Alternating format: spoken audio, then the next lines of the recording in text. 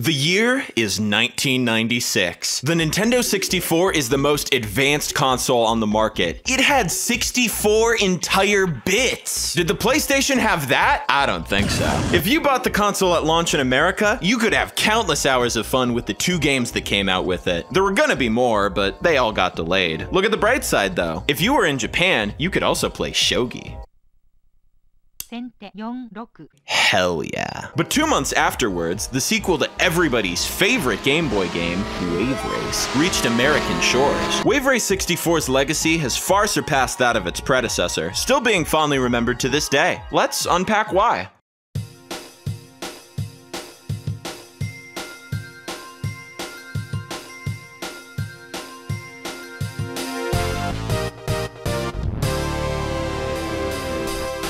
Like the previous game, Wave Race 64 was developed by Nintendo EAD, although Hiroshi Yamauchi and Shigeru Miyamoto appear to be the only two people who worked on both games. I wonder if the other guys even knew about Wave Race. Wave Race 64 didn't even start off as a jet ski game. It was shown off at Shoshinkai 95 as like a motorboat game. Look at how cool this is. You ride around low poly Venice, zipping through tunnels, changing your boat shape, and uh-oh, the footage just cut off. That that was it. That was nine seconds. I guess Miyamoto and crew eventually decided that Venice was lame and jet skis were cool because Miyamoto said they wanted to make the game something unique. Given that it was literally being referred to as F Zero on water internally by Nintendo, it was maybe a little derivative. I assumed that they just adopted the jet skis because the Game Boy game used them, but Chris Seavor, you know, the Conker guy, claimed in an interview that the vehicle swap came at the suggestion of Rare co founder Tim Stamper. The jet skis tie it in a lot closer to the Game Boy game, especially since you still move between buoys. It almost sounds like I'm saying boys. Boys! There doesn't seem to be any connection to that game's plot, though, especially since this game, like, doesn't have a plot. This, of course, means that Slick Wilson, the sole named character from the original Wave Race, is nowhere to be found. I like to imagine he's still pulling the strings of the jet ski tournament somehow, using all the Cayman Islands money he stowed away. Wave Race 64 has four playable characters. There's like basically no info on these dudes in the game or the manual, but the official UK Nintendo magazine has all the answers we crave. First up is Ayumi Stewart, hailing from America. She's the fast one, but does the worst in collisions. Miles Jeter, Jeter, Jetor, from Canada, has good handling, but is bad at turning corners. Ryota Hayami from Japan is an all-arounder, specializing in handling and high speed. So, just like the last two characters, but less bad at corners, I guess. David Mariner, or as the game calls him, Dave. is also from America, and he's old as dust. I mean, look at him. He's practically a bag of bones. He's the fastest, but his handling is the worst. You better follow the magazine's advice. Don't pick him for stunt mode, unless you're mad. It's a bit strange to me that they have four characters and they went out of their way to make them from different countries, yet two of them are American, but who am I to complain? I'm American. Also, for some reason, the options menu lets you change their names if you want to. I know this because I tried to research the famous Wave Race character, Sarah, only to find that there was no information about her on the entire internet. Actually, all the characters on my cartridge have custom names, and I'm afraid to change them because this was probably some family's copy of Wave Race, and I don't want to erase their history. You can also activate alternate palettes for the characters by pushing up on the D-pad while selecting your guy. In addition to the character's base stats, you can further customize your watercraft's performance, which that magazine goes way too in-depth on. Like, having four characters with varied stats just isn't enough. I need my jet ski to be looser. But you don't care about how loose you can make the stupid jet ski. You want me to play the game! I hear you. I'm listening. We're doing championship. If we pick normal, you can dip your toes with warm-up mode, getting acquainted with the controls in an open Dolphin Park. Are you all warmed up? Yeah?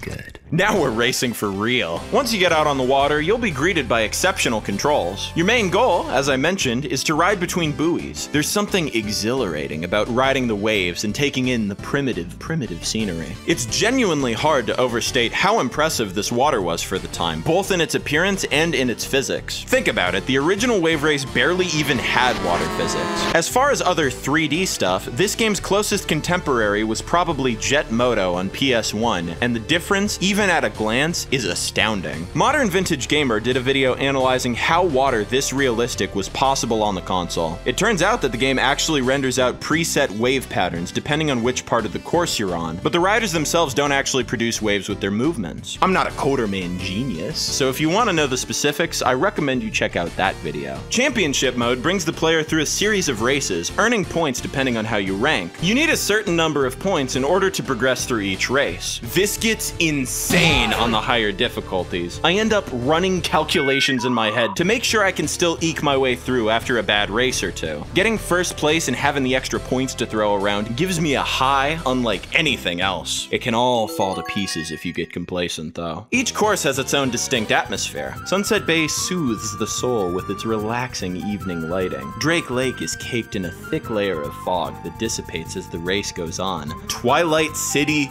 sucks. No matter what I do, I don't know what corners to cut. I, I don't know how to optimize the time. I've done everything. I've tried riding on the stupid sand because every other stupid racer rides on the stupid sand, and every dumb jump just leads me right into the spikes. The spikes! Why are there I spikes here? so. Is it is this a private course? this, and are I they allowed to do this?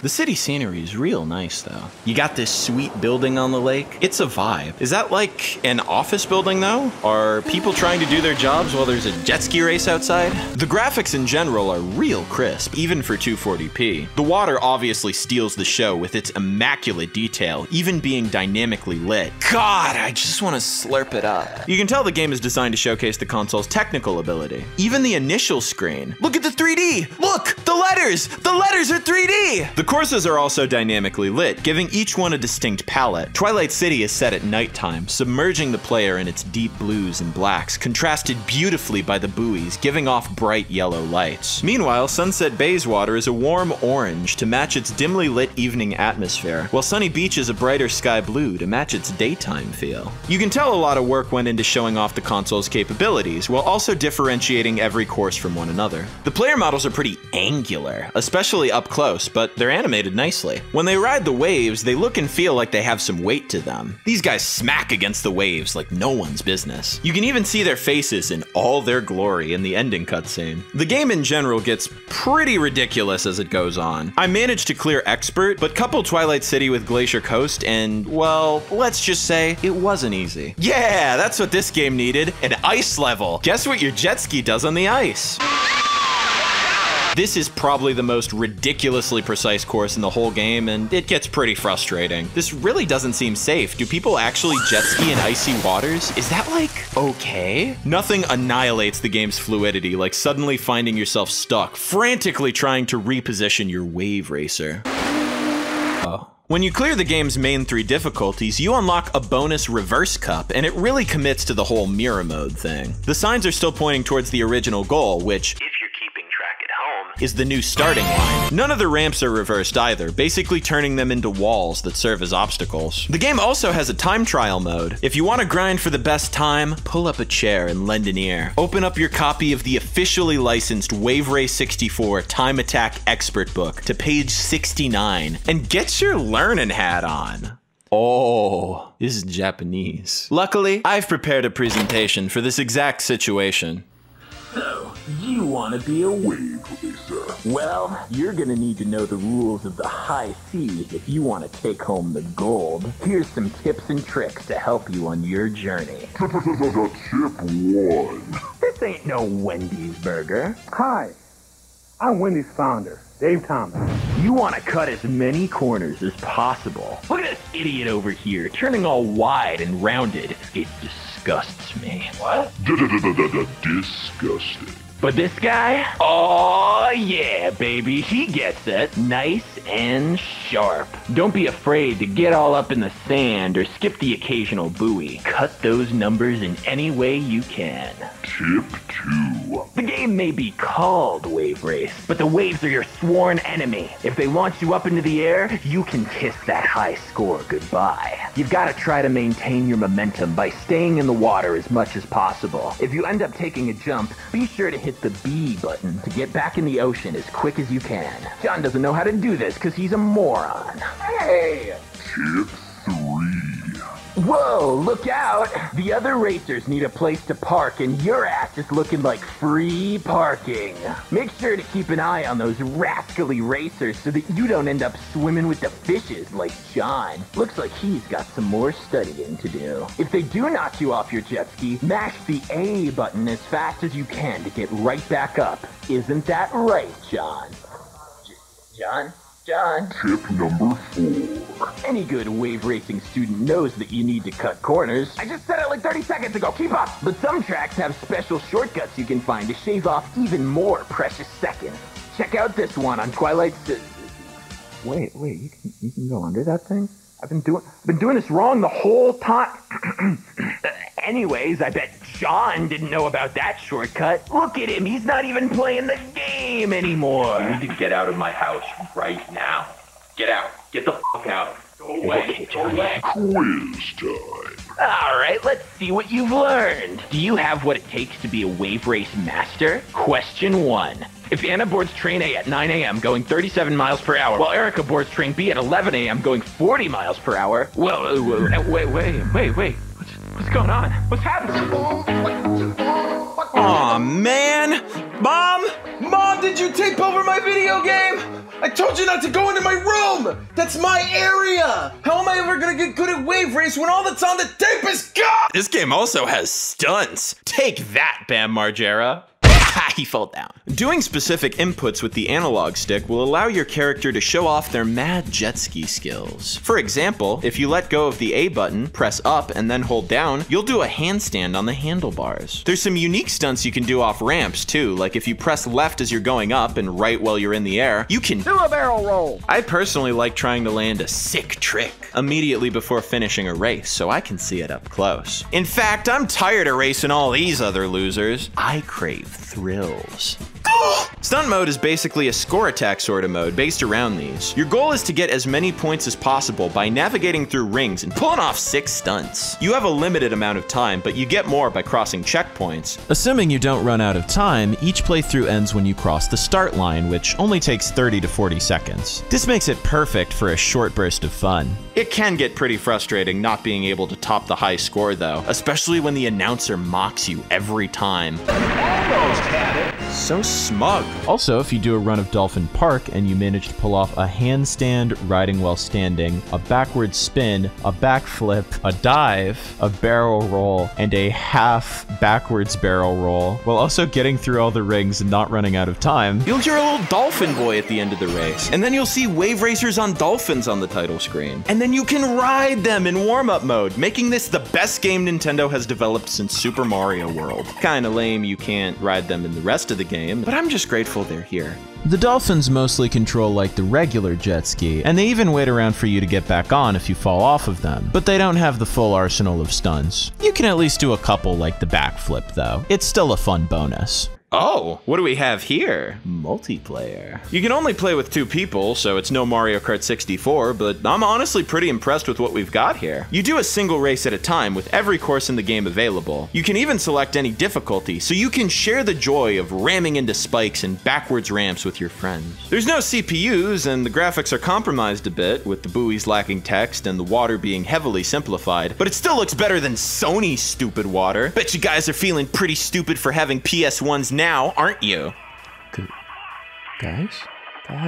Wave Race 64 soundtrack also slaps. It encapsulates the pristine beauty of the ocean as you glide through the natural splendor of the waves. And also, it's 1996. Some of these instrument choices just hit you right in the face and pose that immortal question Will you get N or will you get out? The bass is unreasonably deep and full. Pull up to the club with this game soundtrack blasting on your subs and watch the heads turn as Twilight City woos everyone in a five mile radius. The Nintendo 64 sound chip doesn't exactly provide a convincing piano or electric guitar, but that just adds to the vibe. I mean, would Port Blue really be improved if it sounded like anything other than a gross $50 keyboard from Guitar Center that they immediately returned upon completing the soundtrack? Much like the game's predecessor, the sound of your motor humming is a constant, comforting force. It is nice actually having different sounds, though. Along with the music, your playable character will emit various grunts and groans. There's also also the announcer, voiced by John Houliton, to provide moral support. You are a great wave racer. He sounds borderline sarcastic sometimes. Bonsai! Oh my god, he sounded genuinely excited there. Good for him. There's also a separate voice to provide instruction, telling you how to Barrel roll. and whatnot. Select your watercraft, please. You gotta time it. Fear is for those who are scared. They certainly did advertise this game. America's got this dude doing beat poetry or whatever. Water churning, tide turning, sun burning, wave crashing, head bashing, flying, flying. At least Japan got some cool original animation for their commercial. The beginning of this is technically used in the US commercial, but in Japan we get to see the racers linger in the air, transitioning smoothly into the gameplay. Even the HUD comes on screen, that's cute. The game also got a few magazine write-ups, receiving near unanimous critical acclaim for its deep gameplay. The game actually has a handful of sponsored ads in it, with the American and Japanese versions being sponsored by Kawasaki, which is noted on the title screen. But, as we all know, jet skis aren't real in Europe, so they took them off. Devastatingly, international versions of the game also removed Japan's Fanta sponsorship, depriving Western audiences of the sweet orange sippy. Western versions of the game also changed Japan's somewhat awkward course names. Yeah, I bet you didn't know that Drake Lake was Milky Lake in Japan. Welcome to Drake Lake. Welcome to Milky Lake.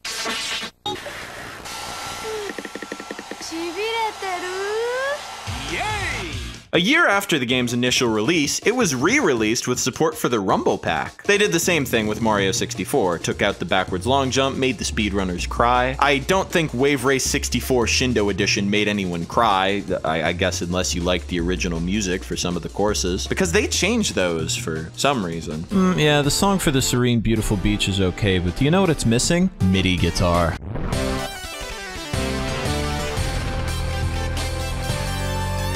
Played way too many video games growing up as a kid. There's this one game for the Nintendo 64 called Wave Race, right? Oh my god, I was just trying to make a dumb Weezer joke, but it looks like Owl City actually is a good band. Or should I say, a good man. It's it's one guy. Owl City is one guy. The joke is that it's one guy. Some of the sound effects are also different. And they added some new lines for the announcer, which seems strange because no matter what territory you play in, he speaks in English. Maybe the biggest addition is that the game now saves ghost data in the time trial mode for you to race against, represented by dolphins. Oh yeah, speaking of which, you can transfer your save data via the control pack in any version of the game, if you want to race a friend's best time or something. The Shindou release would never come to America, but it was used as the basis for the Japanese Wii U and Switch Online releases. as well as the iQue version of the game. You know, the iQue, the Chinese Nintendo 64 that stored its games on a flashcard and allowed you to buy new ones at special kiosks. You're familiar, of course. Weirdly, the iQue version of the game is the only one to dub the announcer's dialogue into the country's native language, in this case Chinese. This makes it, to my knowledge, the only version of Wave Race 64 where the announcer is redubbed at all. I'd tell you more about why, but I've recorded so much voiceover in post that the length of this video has gone up by over a full minute.